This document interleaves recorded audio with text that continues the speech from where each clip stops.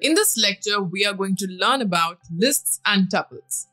Now, lists and tuples are among the most popular data structures used in Python programming language for performing advanced and complex algorithms and operations. Lists and tuples both can store one or more values in a specific order. The values stored in a list or tuple can be of any type, that is, integer, string, or even a float. So let us start with lists. A list is a built-in data type used to store a collection of items. Lists are mutable, which means we can modify them by adding, removing, or changing the elements. The list is a collection of multiple values. Lists are defined in Python by enclosing a comma separated sequence of values in square brackets. Let us take an example in the Jupyter Notebook. Let us create a list named fruits and assign three values, apple, banana and cherry. So fruits is equal to apple, banana, cherry. Executing this block of code, you can see how a list looks in Python. We can access the elements present inside a list by referring to the index number. If we want to access banana from the list fruits, then we can simply use the indexing method to fetch the specified item from the list. As you know, indexing in Python starts from 0, which means that the index of banana in the fruit list is 1. So, to fetch banana from the list, we just have to write this code. You can see the result. We got is banana. Now, let us also learn about the built-in methods in lists. The built-in methods allow us to perform operations on them. The most common methods include append. This adds an element to the end of the list. Next is insert. It inserts an element at a specific index. Then we have remove. It removes the first occurrence of an element. Then we have pop.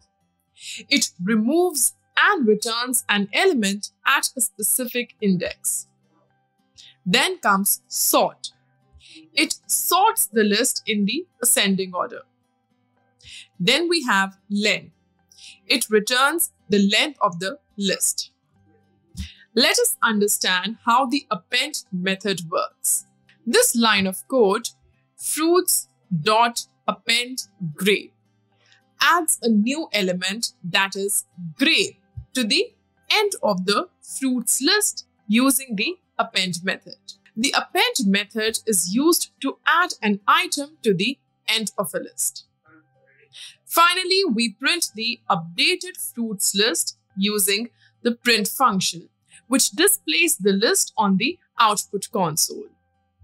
When you run the code, it will output apple, banana, cherry, grape. This means that the new element grape has been successfully added to the fruits list. Next, we have the insert method to add an element to the list. The insert method allows us to insert an item at a specific position within the list. In this case, we are inserting the string pineapple at index 2.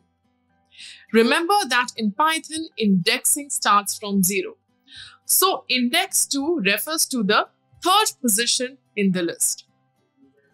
After executing this line, the list fruits will be modified and pineapple will be inserted at index 2. The updated list will look like this. Apple, banana, pineapple, cherry, grape. The print function is used to display the output on the console. In this case, we are printing the modified list fruits after inserting pineapple. When we run this code, it will output this. Apple, banana, pineapple, cherry, grape. So the final result is a list of fruits with pineapple inserted at the specified position that is index 2 in the list. The remove method here is used to remove the element grape from the list fruits. The remove method is a built-in function in Python that removes the specified element from a list. This line uses the print function to display the updated list fruits after removing the element grape. The print function outputs the value within the parentheses to the console. Apple, banana, pineapple, cherry. So the code creates a list of fruits and then removes the element grape from the list. Finally, it prints the updated list without the removed element. Next, we have the pop method that is used to remove and return the last element from a list. In this case, since no index is specified within the parentheses, it will remove and return the last element of the fruits list, which is cherry. The print function is used to display the content of a variable or a value. Here we are printing the modified fruits list after removing the last element. After executing fruits.pop, the cherry element is removed from the fruits list and the modified list is printed, which contains three elements apple, banana, and pineapple. So, the code creates a list of fruits, removes the last fruit, cherry, and prints the updated list of fruits. Next is the sort method, which sorts the element of the list in the ascending order. In this case, it will arrange the fruits alphabetically. The print function is used to display the sorted list of fruits. It outputs the content of the fruits list after it has been sorted. Finally, the len function helps us to display the total number of elements present inside a list. I hope that lists and its operations are absolutely clear to you. Now let us understand how tuples work. A tuple is a built-in data type used to store an ordered collection of items. Tuples are similar to lists, but they are immutable, meaning their elements cannot be modified once created. And here is a beginner level introduction to tuples in Python. We are creating a tuple named fruits. A tuple is a collection of items enclosed within parentheses. Tuples are similar to lists, but they are immutable. That is, their elements cannot be modified once they have been created. In this case, the tuple fruits contains three elements apple, banana, and orange. Each element is separated by a comma. To access a specific element in a tuple, we use square brackets with mm. the index of the element we want to retrieve. In Python, indexing starts at 0. So the first element has an index 0, second element has the index of 1, and so on. In the code provided, fruits 1 is used to access the element at index 1 of the fruits tuple. Remember that Python uses zero-based indexing. So fruits1 refers to the second element of the tuple, which is banana. The print function displays the value of fruits1, which is banana. So when we run this code, it will output banana.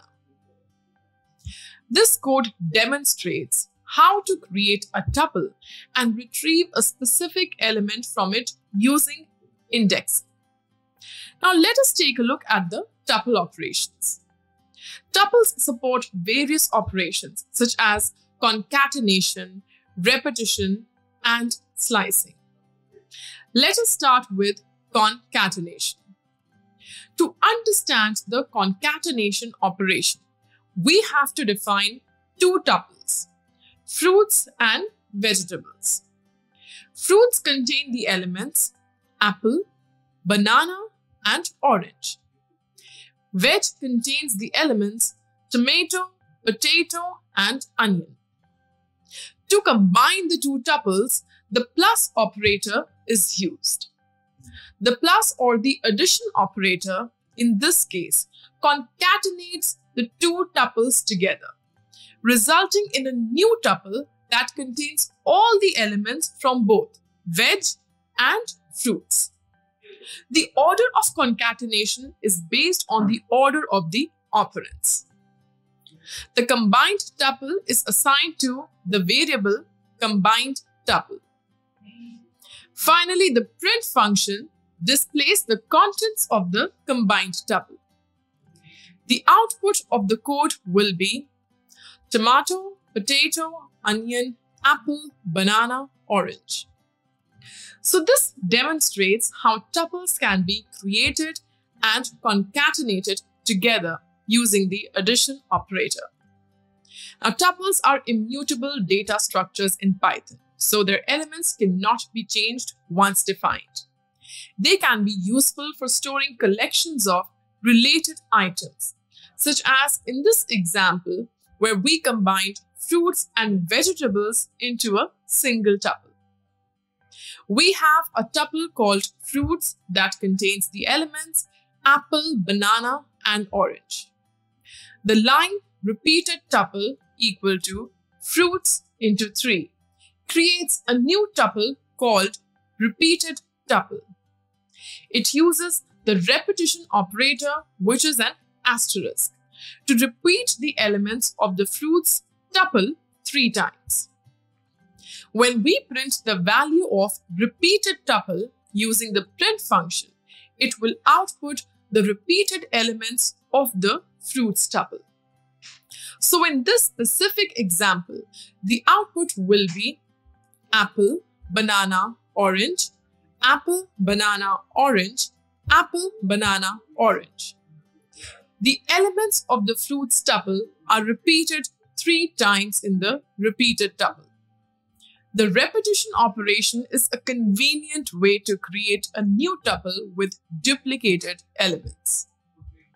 Now, let us understand the slicing operations in tuples. Here, we perform slicing on the fruits tuple.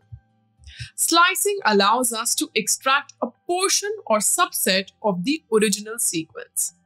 In this case, we start from index 1, which is the second element in the tuple, because indexing starts from 0, and then include all the elements until the end of the tuple. The result of the slicing operation is assigned to the variable sliced tuple. Therefore, sliced tuple will contain the elements from index 1 to the end of the fruits tuple. In this example, it will include banana and orange. With this, we come to the end of this lecture. In this, we learned about lists and tuples. We also learned about the operations associated with lists and tuples.